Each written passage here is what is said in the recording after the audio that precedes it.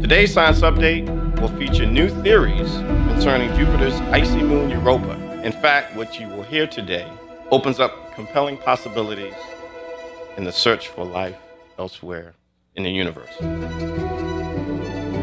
The real excitement is we don't know exactly what we're going to see because the sensitivity is so much better with James Webb Space Telescope.